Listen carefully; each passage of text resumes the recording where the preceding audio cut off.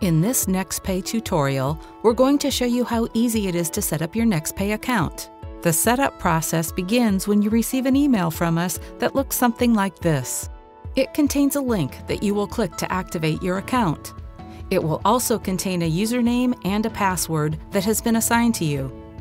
You need to take a moment and write that information down because you'll be using it when you log into your account.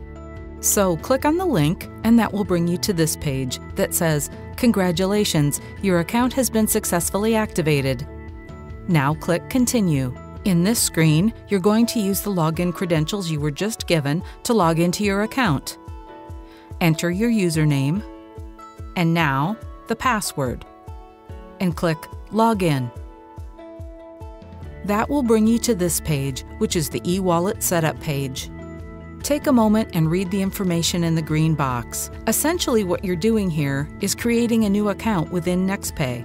It's important that your information that you confirm or add is absolutely accurate and reflected on your legal documents, like a passport, a driver's license, etc. Now, some of this information may be auto populated, so make sure you go through it field by field.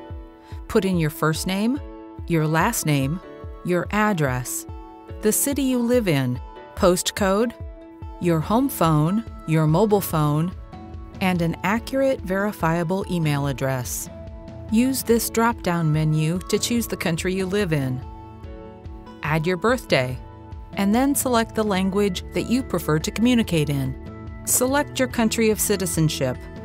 Next, enter your passport number or government ID number.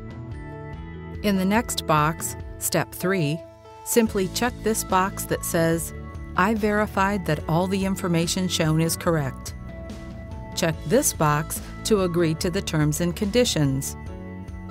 If at this point you'd like to look at the fee schedule or how much each transaction will cost, you can click this link to do so. Now, moving on to step 4. You're going to select your own personal transaction PIN. This is numbers only, no letters. It's 4 to 10 digits, and they can't be sequential. You're going to need this PIN every time you do a transaction within NeX Pay, or even to edit your account. When you have that PIN in mind, type it in the top box, and then again in the bottom box.